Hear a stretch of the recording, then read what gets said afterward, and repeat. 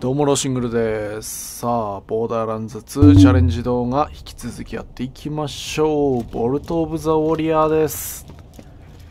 消えゆく灯火。これは通路途中にあるマグマの滝があるんですが、ここに勇気を持って飛び込みましょう。このマグマはなぜか死にません。はい。ここに来るとクリアです。もはや地図上にない場所ですね。ボルトカルト。1個しかありません。このエレベーターのはい。脇のところにスペースがありましてその壁にあります。場所はここです。溶岩気をつけてください。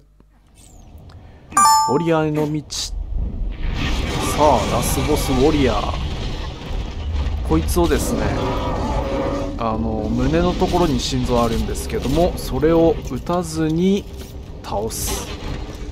なので顔とかあとはまあ灰色の部分ですね。こういうとこ狙ってシャニムに打って倒してください。しぶといね。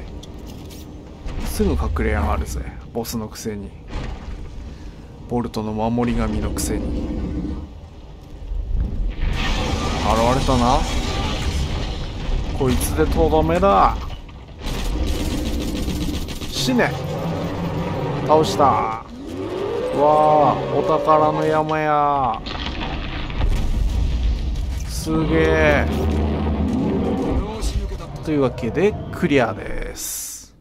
場所はここがラストステージになります。以上となります。ご視聴ありがとうございました。アリベデルチー